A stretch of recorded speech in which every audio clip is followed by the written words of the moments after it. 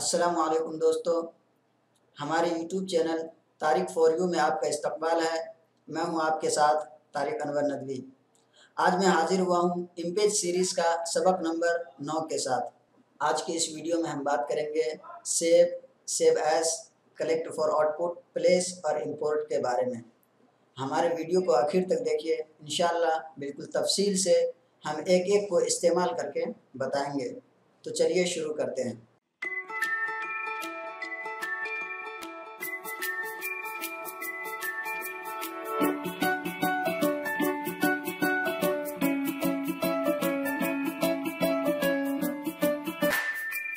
ये हमारे पास एक इमेज टाइप का बना हुआ है। अब इसको हम महफूज करके रखना चाहते हैं किसी एक फ़ाइल में, ताकि कभी हम दोबारा इसमें कुछ और लिखना चाहें, इसी डिज़ाइन में किसी और के नाम के साथ लिखना चाहें तो इसको लिख सकते हैं प्रिंट कर सकते हैं, किसी को दे सकते हैं, किसी के पास भेज सकते हैं। तो सबसे पहले इसको महफूज रखने के लिए हमें सेव करना पड़ता है किसी फ़ाइल में। तो सेव करने के लिए हम फ़ाइल मेनू पे जाएँगे और यहाँ से सेव के ज़रिए से इसको हम सेव कर देंगे। ये फ़ाइल हमारा ऑलरेडी टेस्ट वन के नाम से सेव है। तो हम इस पर जैसे क्लिक करेंगे, ये देखिए हमारा ऑप्शन आ रहा है। दिखाया कि ये सेव हो चुका है। सेव का शॉर्टकट की है कंट्रोल एस जिस तरीके से हम यहाँ से किसी मेटर को सेव करते हैं उसी तरीके से हम कीबोर्ड के ज़रिए से आसानी के साथ उसको सेव कर सकते हैं। जैसे हम इसको कुछ चेंजिंग के बाद सेव करना चाहें, जैसे यहाँ पे मुफ्ती तक उस्मानी साहब का नाम है तो यहाँ हम किसी और का नाम दे करके सेव कर सकते हैं। जैसे मैं नाम चेंज किया हूँ, अब फिर से मैं इसको सेव करना चाहता हूँ तो जैसे सेव पे क्लिक करेंगे, ये फ़ाइल हमारा सेव हो जाएगा। जैसे ये फ़ाइल हमारा सेव हो गया इस नाम से। इसको हम कंट्रोल एस के ज़रिए से भी सेव कर सकते हैं। इसके बाद का ऑप्शन हमारा सेव एज का, जिसका शॉर्टकट की है control plus alt plus S हम डायरेक्ट कीबोर्ड के ज़रिए से सेव एज कर सकते हैं, जिस तरीके से हम फ़ाइल मेनू में आकर के करते हैं। अब सेव और सेव एज में क्या फ़र्क है? जब हम कोई फ़ाइल सेव करते हैं तो वो एक नाम से हमारा महफूज रहता है। सेव एज उस वक्त इस्तेमाल किया जाता है जब हम इसी मैटर को किसी और के नाम के साथ सेव करना चाहते हैं तो उस वक्त हम सेव एज के इस्तेमाल करते हैं। हमारी सारी डिज़ाइनिंग यही रहती है, यही मैटर रहता है। सिर्फ़ हम कहीं नाम चेंज करना चाहें, कुछ भी इसके अंदर चेंज करना चाहें तो आराम से चेंज करके और एक दूसरे के नाम से उसी फ़ाइल को बना सकते हैं। जैसे यहाँ पे अभी मौलाना सलमान नदवी नाम है, यहाँ पे हम किसी और का नाम दे करके इसको सेव एज करके दिखाते हैं। जैसे मौलाना महमूद मदनी के यहाँ नाम डाल दिए। अब सेम मैटर है सेम डिज़ाइन है और इसको हमके, हमें इनके नाम से एक फ़ाइल बनाना है। तो उस वक्त हम फ़ाइल मेनू में जाएँगे और सेव एज पे क्लिक करेंगे। या हमारा नाम सेव करने का ऑप्शन आ गया। जैसे ये पेज हमारा पहले से टेस्ट वन के नाम से सेव था, अब हम इसको कोई और नाम दे करके सेव करेंगे। तो ये नया फ़ाइल हमारा बन के तैयार हो जाएगा। जो टेस्ट वन जो हमारा ये फ़ाइल बना हुआ है, ये महफूज हो जाएगा हमारे फ़ाइल में। जो सेव एज के लिए हम नया फ़ाइल बना रहे हैं, वो नाम डाल के यहाँ सेव करेंगे तो वो फ़ाइल हमारा ओपन हो जाएगा, जैसे हम यहाँ पे नाम डाल देते हैं।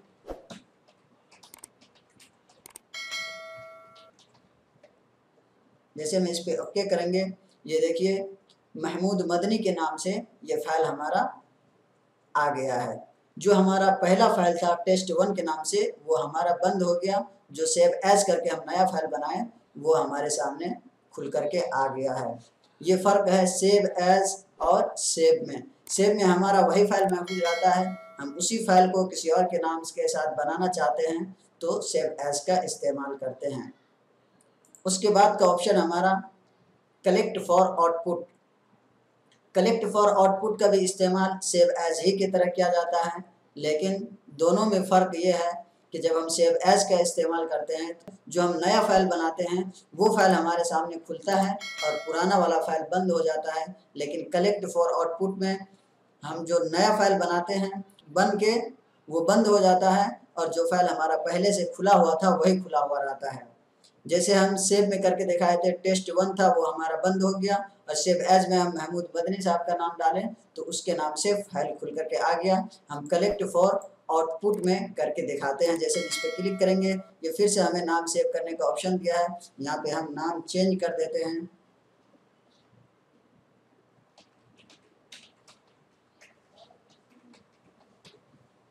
जैसे हम शहाबुद्दीन के नाम से ये फ़ाइल को सेव करते हैं तो ये देखिए, जो हमारा पहले से फ़ाइल खुला हुआ था, मौलाना महमूद बने के नाम से, वही खुला हुआ है, और जो हम अभी नया फ़ाइल क्रिएट किए हैं जो इनका डुप्लीकेट बनाए हैं, वो बन करके एक महफूज हो गया है। उसको हम देख सकते हैं फ़ाइल के अंदर।